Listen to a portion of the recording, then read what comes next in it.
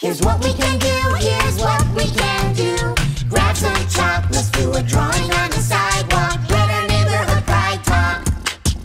Here's what we can do, here's what we can do. Take some time, let's make a sign. Let people know what's on our mind. Here's what we can do.